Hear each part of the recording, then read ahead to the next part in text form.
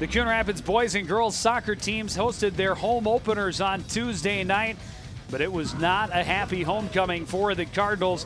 Both teams lost 3 to nothing at the hands of the Eastview Lightning, and both have a week off before taking on the Anoka Tornadoes also at the Cardinals Sports Complex.